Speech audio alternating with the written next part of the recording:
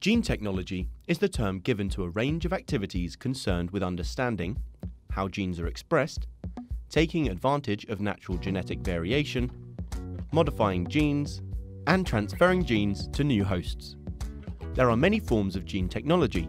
This video will take a closer look at genetic engineering, vaccines, gene therapy, and gene testing.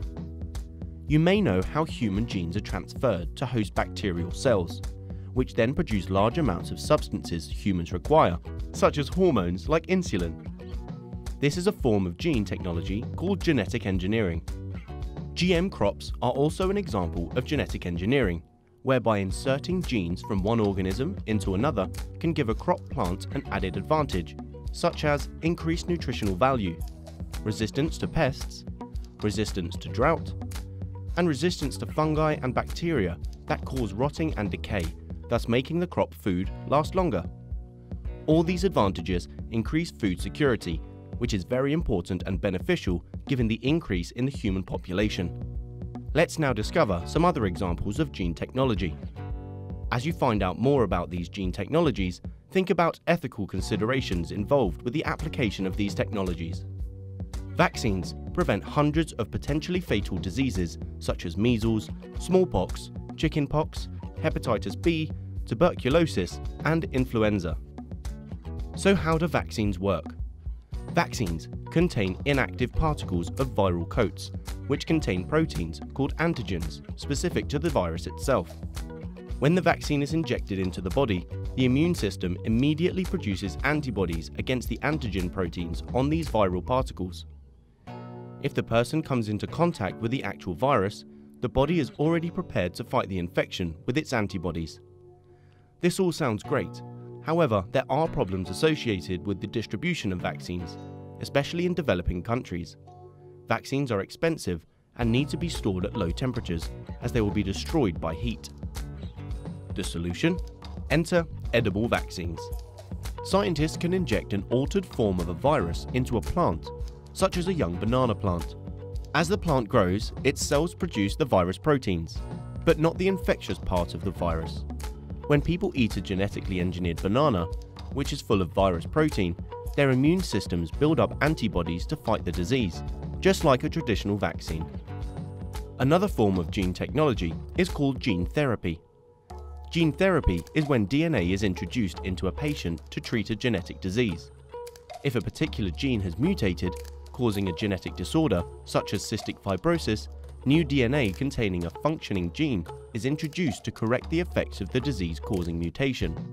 Gene therapy can also be used to block or switch off a gene that is causing cells to malfunction. For example, in some forms of cancer, gene therapy can even be used to kill cells that are diseased. In gene therapy, the new genes are introduced into the cells via a vector which is usually a non-harmful virus that carries the gene into the patient's cells directly. Genetic testing is a form of gene technology that is done if a genetic disorder is suspected. If you have symptoms of a genetic disease, genetic testing can confirm if you have the suspected disorder.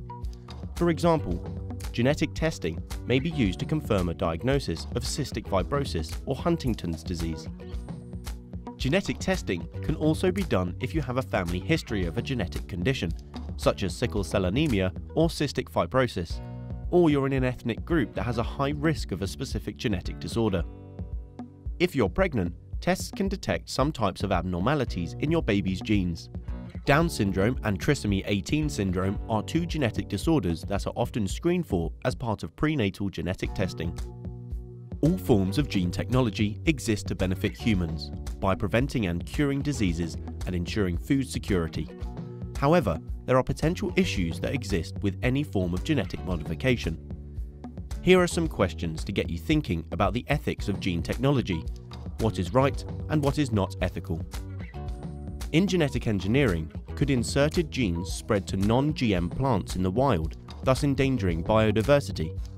Could farmers be forced to buy expensive genetically engineered seed when they have traditionally kept some seed to plant the next season?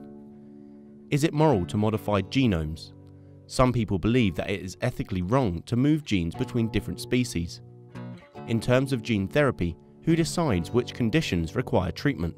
It could be tempting to also cure conditions like baldness and obesity. This would be improvement, not treatment. The technology could be misused.